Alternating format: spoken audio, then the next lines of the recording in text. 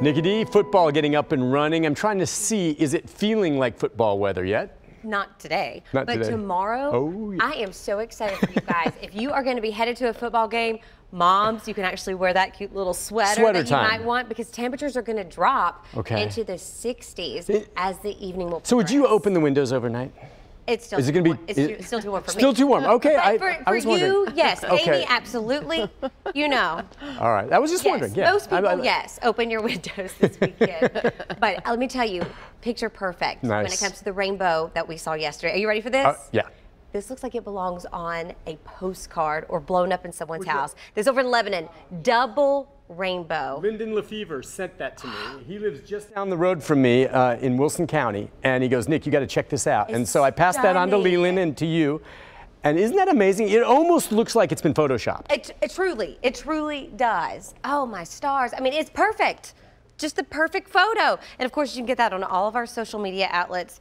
We're all just staring at it. So thank you so much for sending that in to us. This morning, we're coming in 78 muggy degrees outside overlooking Music City. Thankfully, winds are coming in out of our south southwest right at 8. And if you noticed Mo earlier in his live shot, you could tell his hair was blowing just a bit. So it is a light breeze, but it's still there. This morning, unlike yesterday over in Hopkinsville, we are dry to start things out. But remember, some of those rivers, some of the creeks, the lower lying areas, potentially still having some of that standing water because y'all received over an inch of rain within a very short time span. We have some showers still just up to our north. They're easing their way through. And then our next band is now beginning to take place just off to our western tier, moving their way just to our east. So Clarksville, you saw upwards of one inch yesterday. You're adding to that this morning. Ashland City, right now you're dry, but you'll notice some rain showers moving in. Dickson, seeing some heavy rain for you guys as well. Lightning, not too much of an issue to start off the morning, but wouldn't be surprised if we did have a few embedded thunderstorms.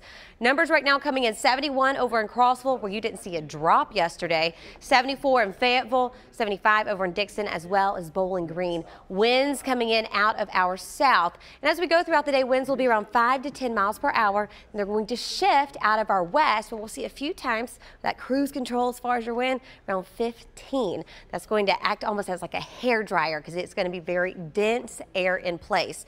Today's rain chances more isolated than what we've seen in the past. So be prepared for a few scattered showers. The severe threat very low. Then tomorrow, your temperatures are going to drop. This thanks to a cold front.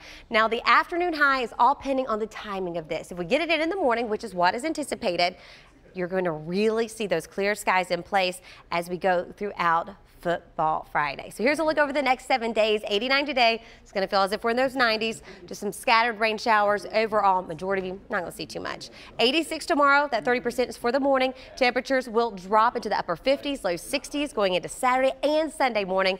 Labor Day, only a 10% chance of showers. That's for the evening. 88 degrees. We're going to hang in those 80s going into next week. I have more in your forecast, pinpointing exactly where the rain's moving in. You're watching News Channel 5.